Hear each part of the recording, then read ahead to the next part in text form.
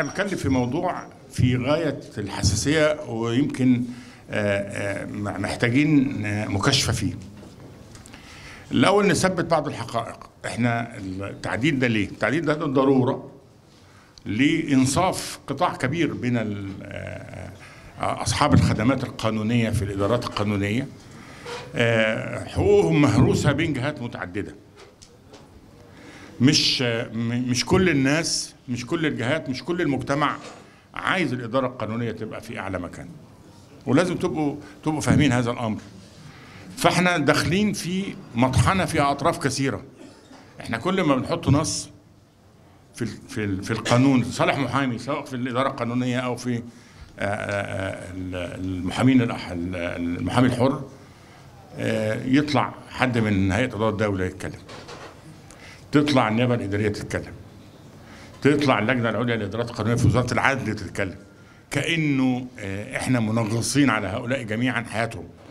رغم إن إحنا بنؤدي واجبنا في قناة أصلا غير مشتركة وغير متداخلة مع القنوات القانونية اللي بيأدوها. يعني آه، أنا أنا شايف إنه دور محامي الإدارة القانونية مش لا يقل أهمية عن هيئة قضاء الدولة. لا هو من حيث الواقع هو الأهم. وهم أولى بالحصانة وأولى بالحماية. وإذا كنا بندي محامي الادارات القانونيه حصانة ماشي موافقين. بس دول بيمثلوا الدولة. فالحصانة معاهم. طب اللي ما بيمثلوش الدولة وبيمثلوا المصلحة العامة للدولة مش محتاجين حصانة؟ ما بالتأكيد هم أولى بالحصانة. لكن هنظل في معركة شرسة. إحنا حرصنا في الدستور إن إحنا نضع الاستقلال. عنوان لينا عنوان للمحاماة كلها سواء كانت في القطاع العام أو كانت في الادارات القانونيه أو في لدى أصحاب المكاتب. الاستقلال ده بوابة واسعة. بوابة واسعة تحتاج إن كل يوم نضيف جديد فيها. إحنا لو حطينا كل حاجة إحنا عايزينها في مشروع قانون مش هيمشي مش هيعدي. يعني جرت محاولات كثيرة. إحنا سبناها. ناس قالت عايزين قانون يعمل لنا هيئة مستقلة تتمتع بالحصانة زي النيابة الإدارية وزي قضايا وزي القضاء. اترفض. إحنا عايزين مش عارف مميزات فين ومميزات فين ومميزات فين اترفض. إحنا حرصنا إن إحنا نضع مشروع متواضع آه، في آه، آه، مناطقه علشان يقبل علشان ندخل. إحنا عايزين الأول ندخل ندخل بوابة التعديل ولو بالتدريج. أنا بقول لحضراتكم وبعترف إن القانون الحالي مش القانون الأمثل المشروع الحالي مش القانون الأمثل ولا هو أسمى أمانينا ولا هو آه، آه، اللي بيحقق آه، آمال المحامين الإدارة القانونية تحقيقا كاملا لكن هو الممكن الآن في ظل هذا المناخ الصعب المتداخل العسير اللي مش هيقبل مزاحمة أو يقبل أكثر من الجرعات اللي إحنا حرصنا إن إحنا نضعها في هذا المشروع. إحنا في في المشروع وقبل ما اتكلم فيه مقترح هشام أنا موافق عليه. بس آه، خلوا بالكم من حاجة مهمة وأنتوا لازم تدرسوها. أنا مش عايز آه، آه، محامين الشبان في الإدارات القانونية يشعروا بانه في حجب. زي ما القضاء النهارده في حالة من حالات ال- الفوران داخلها هو النهارده ممكن ينزلوا في القضاء من 70 ل 65 بشكل عام. لكن أنا مع المساواة مع المساواة في السن القانونية إذا كان القاضي سن يصل لسن السبعين آه، في العمل أو يصل لسن ال 65 في العمل المحامي في في الإدارات القانونية يجب أن يكون متساويا مع هذا الأمر. وبالتالي إحنا إحنا إحنا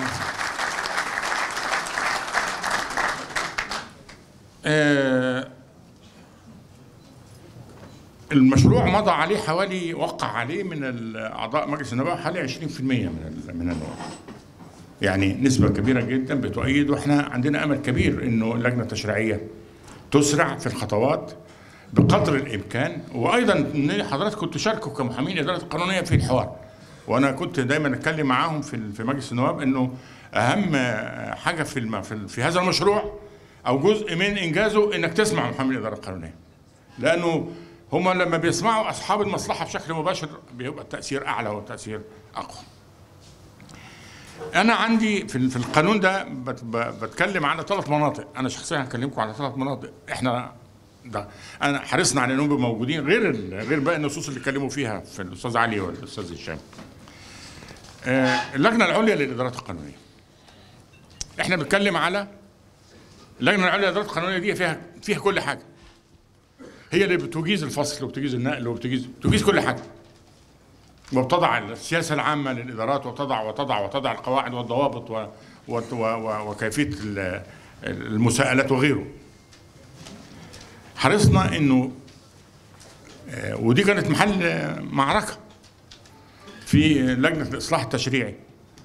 إن أنا كنت حريص إن أنا أضع عدد أزيد للمحامين في الإدارة القانونية في اللجنة العليا للادارات القانونية. كانوا شادين وصلنا إلى رقم أنا أعتقد إن إحنا كسبنا منه. اذا إذا مشي. إحنا حاطين ثمان محامين في اللجنة العليا للادارات القانونيه وثمانيه جايين بصفاتهم بما فيهم وزير العدل. فبقوا كام؟ بقوا 16 وزير العدل عادة لا يجلس مجلسه للرئاسة فهيبقوا سبعة. وهيبقوا المحامين ثمانية أو على الأقل حتى لو حضر وزير العدل. وبقى في ثمانية أو في نص المجلس بيتكلم في اتجاه الحماية أعتقد إن هم ممكن يكسبوا آه، كثير خصوصا إنه من ضمن ال- ال- الثمانية الآخرين آه، وزير العدل رئيسا مساعد وزير العدل لشؤون الإدارات القانونية أحد نواب رئيس محكمة النقض أحد نواب رئيس مجلس الدولة أحد وكلاء هيئة قضاء الدولة اثنين من مجلس إدارة الهيئات يختارهم رئيس مجلس الوزراء أحد وكلاء الجهاز المركزي للتنظيم والإدارة ممثل عن الوزراء يندبه رئيس مجلس الوزراء الوزراء ممثل عن الوزارة عن وزارة المالية. دول اللي جايين بصفاتهم ما أعتقدش إنه فيهم حد حريص غير اتنين تلاتة ممكن ينغصوا علينا المسألة. طبعا باينين في الوظائف. ف فده معناه إن إحنا بنحاول بقدر الإمكان إن إحنا نعدي بقضية الاستقلال بقى. ما هو ده دي ضمانة في الاستقلال. الحقيقة لما هو مش كلام. الاستقلال مش عنوان مش خطبة مش كلمة. إنما ممارسة. لما تبقى الأغلبية أغلبية محامين هتبقى فاهمة كويس إنه اللي حدث ده خطأ ولا لأ يستوجب النقل ولا لأ يستوجب الفصل ولا لأ. ده مهنيا صحيح ده مهنيا مش صحيح. ده كلام آه، آه، أعتقد إنه آه، التشكيلة اللي وضعت ترتيبة رائعة لصالح محامين الإدارات القانونية.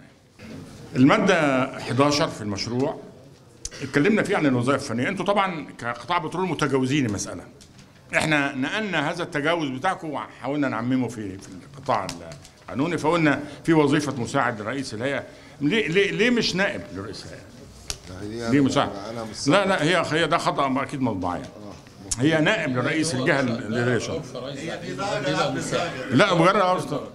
مساعد في درجة. قبل النائب آه مساعد قبل النائب مساعد أعلى ولا أقل؟ مساعد أقل. طيب. أقل يبقى طب المفروض خلينا نعلى. طب ما نعمل نائب ومساعد. أيوه يا فندم. آه نائب. أنا بقول لك نبقى نعمل النائب ونعمل المساعد.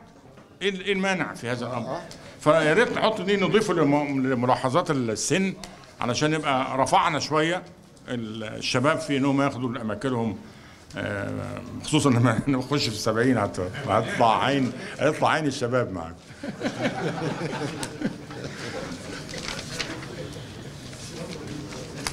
النقطة الثالثة اللي أنا أيضا حابب أكلم حضراتكم فيها آه، برضو أنتوا يمكن من الجهات اللي ما بتعانيش فيها اللي هي بدل بدل التفرغ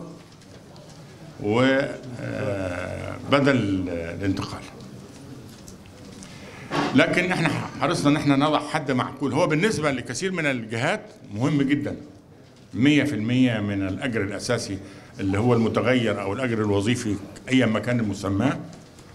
بالإضافة إلى 50% برضه من ذات ال- الأجر. بالإضافة إلى أي مزايا تمنح للعاملين بذات الجهات اللي موجودة يتمتع بها على قدم المساواه.